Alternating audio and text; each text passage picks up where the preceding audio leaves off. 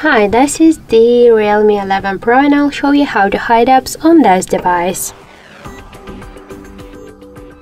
So open for the settings, scroll down to privacy section and switch permissions to privacy. Click here to hide apps and select one from these applications which you want to hide. For example, let's uh, use the Google Chrome. Just tap on the switcher. Now we should set a privacy password. So click to the settings. You could use 6-digit password or to use a different password type. For example, let's use the pattern. Here we got the security section.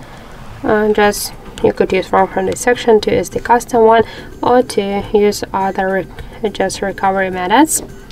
So tap on the right upper corner to OK and now we should set the access code just to use it on our dial pad to access to the hidden apps. So click to the settings, enter the hash key because your access code must start and end with the hash key. After that enter the pin code, hash key, right upper corner OK, tap to done and that's it. Now you could just hide all of your apps if you want.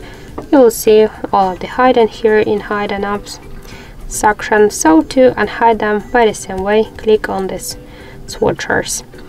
If you want to see your hidden apps from the um, home screen just open the phone up open the dial pad enter the hash key one two three four so your pin code and hash key. Here we got all of our hidden apps. So that's it. Thank you for watching and if you find this video helpful leave thumbs ups and subscribe